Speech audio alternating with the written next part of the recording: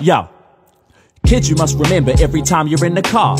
And it make no difference if you're driving near or far. If you in the front seat or if you in the back, click, click, go their seatbelt before you get a whack. Now, I ain't trying to advocate for child abuse, but my kids are gonna listen to what I tell them to do. Cause there's a lot of bad drivers on the road and they be gunning it as well as drink drivers. I used to be one of them, but I got clean cause I wanna be a role model. So I no longer drive while I scull bottles and I stop smoking weed. Now all I do is drive to the conditions and when they change, reduce my speed. So please listen to this educational free listen. I promise to be quicker than three minutes. I wanna talk about speed limits and how you can avoid seeing prison and being given police tickets. There's a lot of boy races, a lot of drag races, a lot of people putting out tamariki in danger.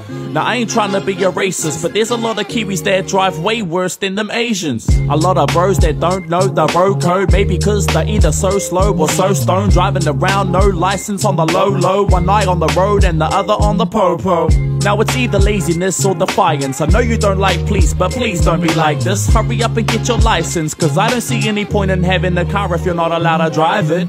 I just wanna see a change in statistics and see everybody arrive safely for Christmas. So please pay attention and listen. And if you're on the main highways, please maintain your distance. Cruising down the street and a car pulled me over and breathalyzed me, and I was totally sober. He said, Hey matey, how has your day been? It's a 50k zone, why you going 80? He wasn't having any excuse I was making. I got a little hasty and told him he was crazy. He said, I'm just worried about your safety. Safety? Haven't you seen all the potholes lately? but what can I say? I understand the bro, we all gotta work and we gotta get paid. Plus, he was just doing his job at the end of the day. So I gave him a tinny and then he went on his way. Jokes, that didn't happen, I was taking the piss. He did his job really well, bro, he gave me a ticket. So with that being said, I'm a heap of the himana. Have a beautiful summer and drive safely, motherfucker. Tell all your friends and your family, that's the trick. Click on your seatbelt, click, click, click. Tell all your friends and your family, that's the trick. And tell the police they should really pay me for this shit.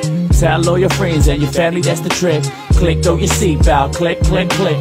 Tell all your friends and your family, that's the trick. And tell the police they should really pay me for this shit.